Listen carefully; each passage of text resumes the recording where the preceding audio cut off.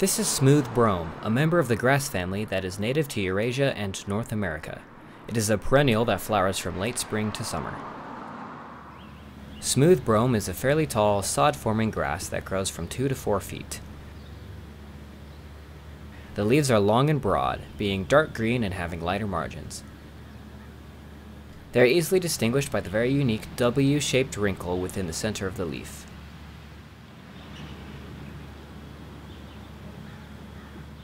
The lower sheaths are hairy, while the leaves are rolled in the bud, lack auricles, and have small, rounded membranous ligules.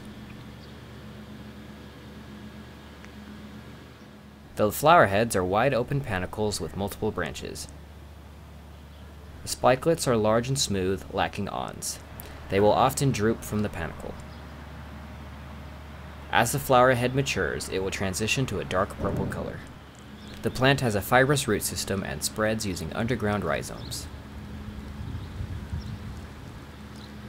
Smooth brome is very adaptable, but prefers well-drained soils and full or partial sun. It is commonly found in pastures, gardens, ditches, and along roadsides.